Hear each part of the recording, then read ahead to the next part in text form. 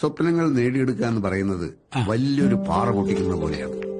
ചുറ്റിക കൊണ്ട് ഒന്നടിച്ചു രണ്ടടിച്ചു മൂന്നടിച്ചു. ചിലപ്പോ അമ്പതാമത്തെ അടി കൊണ്ടായിരിക്കും പാറ പൊട്ടുന്നത്.